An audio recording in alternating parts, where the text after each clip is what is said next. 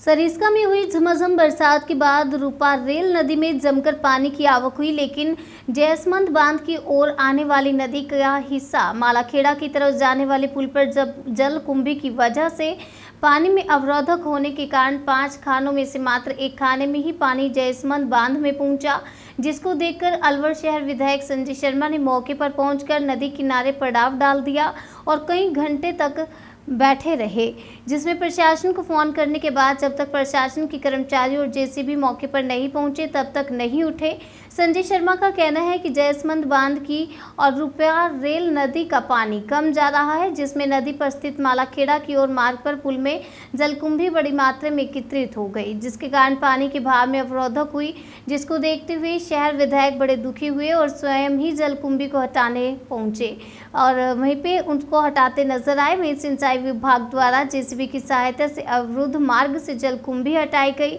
शहर विधायक शर्मा काफ़ी पहले ही, पहले से ही जयसवंत बाँध में अधिक से अधिक पानी पहुँचे, इसके लिए संघर्ष करते आए हैं और पुरजोर से प्रयास कर रहे हैं ताकि अलवर शहर वासियों को पानी मिल सके। विधायक शर्मा काफ़ी देर तक धूप में ही बैठे रहे और जलकुंभी हटाने के लिए बीच बीच में मदद करते रहे। वहीं ग्रामीण विक्रम गुर्जर और उमरेड सरपंच प्रतिनिधि रविंद्र पटेल ने नदी में उतरकर जलकुंभी हटाने के लिए जुटे रहे। इस मौके पर सिंचाई विभाग के कर्मचारी अधिकारी मौके पर पहुँचे। अकबरपुर थाने से पुलिस भी मौजूद रही। जी जी सर बताओ आज नदी अच्छी आई थी लेकिन अपने जो जयसमंद बाँध में पानी कम मात्रा में पहुँचा क्या कारण रहा है और अब क्या प्रयास हो रहा है सर? देखिए घटने के बारह क्षेत्र में जलकुंभी के कारण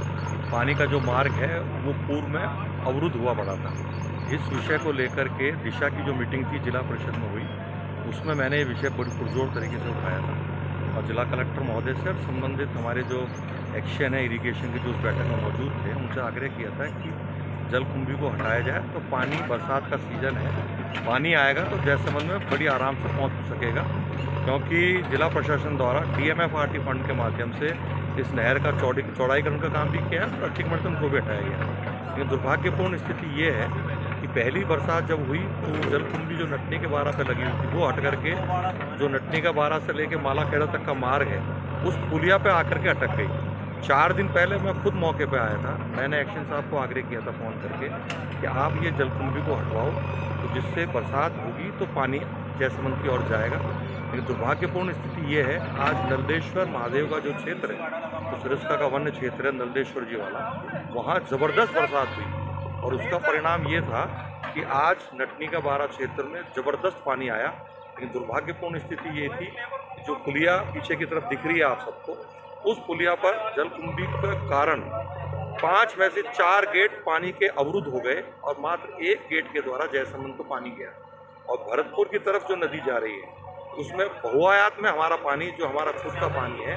वो उस तरफ़ रह गया, वो भरतपुर तो पहुंचेगा नहीं, लेकिन निश्चित रूप से वो पानी बर्बाद हुआ। है उसको लेकर के मैंने जिला कलेक्टर महोदय को फ़ोन पर आग्रह किया, हमारे जो एक्शन साहब हैं उनसे आग्रह किया, और मैं जब से यहीं बैठा हुआ था, धूप के अंदर बैठा हुआ था, जल कुंभियों के साथ बैठा हुआ था, और मैंने कलेक्टर साहब से आग्रह किया कि मैं जब तक नहीं हटूँगा, तब तक जल कुंभी यहाँ से हटाई नहीं अभी पाँच मिनट पहले यहाँ जेसीबी आई है, सिंचाई विभाग के एक्शन साहब भी आए हैं, यहाँ के हमारे जो जे साहब हैं वो भी मौके पर आए हैं, और जेसीबी के माध्यम से जल कुंभी को हटाने का काम किया जा रहा है। मेरा ये कहना है, अगर इन जलकुंभियों को पहले ही हटा लिया जाता तो आज जो बड़ी मात्रा में बरसात का पानी, बरसात, अच्छी हुई बरसात का पानी आया है, वो निश्चित रूप से जयसमंद में जाता। तो जयसमंद में को भरने का जो हमारा एक भरपूर प्रयास है, उस प्रयास में बहुत हद तक हम सफल होते हैं। लेकिन दुर्भाग्यपूर्ण स्थिति है कि बार बार कहने के बाद भी प्रशासनिक अधिकारियों पर कोई असर नहीं हो रहा। या तो कोई राजनीतिक प्रेशर उनके ऊपर है